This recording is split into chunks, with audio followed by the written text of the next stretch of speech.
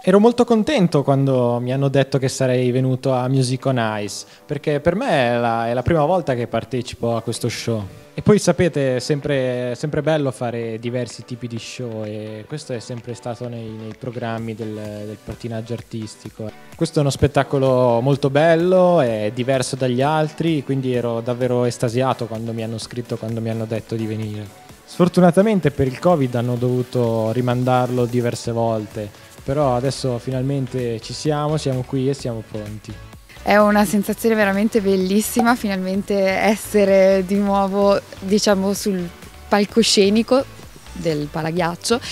È, è, è, assolutamente bello poter essere di nuovo a contatto col pubblico, eh, tutto live, eh, le emozioni sono alle stelle. La difficoltà di cantare sul ghiaccio praticamente è di ehm, stare attenti a dove va la pattinatrice per non scontrarsi ovviamente, però essendo che io ero una ex pattinatrice quando, quando ero piccola, ehm, per me unire la passione del, del, pattinaggio artistico con quello della live music è un'esperienza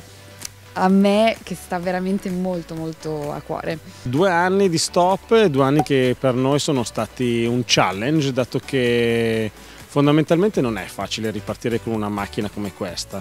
Infatti giustamente ieri ne parlavamo, siamo tutti molto eccitati ma siamo tutti molto più stanchi di quello che dovremmo essere perché non siamo più abituati. Il cast dei pattinatori è rimasto stabile più o meno dalla pianificazione dell'estate scorsa, o meglio dell'inverno scorso quando abbiamo già dovuto posticipare lo show a, Pasqua, dunque da adesso non nascondo che ad esempio la guerra che è scoppiata per noi ha creato non poche problematiche, specialmente per tutti i pattinatori che erano russi e infatti una coppia di veterani che venivano da noi abbiamo dovuto purtroppo lasciarla a casa. Questo non è mai facile. Chi viene a Music on Ice si deve aspettare uno show di pattinaggio di altissimo livello, però incorniciato in una maniera tragicomica unica nel suo settore eh, siamo uno show che ha i tavoli sul ghiaccio per avere una cena, abbiamo pattinatori che vengono veramente da, da tutto il mondo e quindi questa cosa per noi rappresenta un forte collante. Eh, tutti i pattinatori parlano molto spesso del fatto che siamo una famiglia